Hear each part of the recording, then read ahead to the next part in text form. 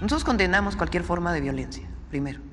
En su momento, la secretaria Alicia Bárcenas, que era secretaria de Relaciones Exteriores, eh, condenó en primera instancia esta masacre y detención ilegal de personas que hizo eh, un grupo eh, palestino.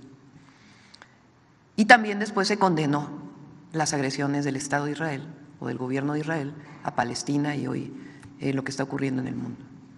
Presidente López Obrador siempre expresó basado en los principios constitucionales de política exterior, que lo que México busca es la paz y que Naciones Unidas debería ser mucho más proactivo como institución en la búsqueda y en la construcción de la paz del mundo.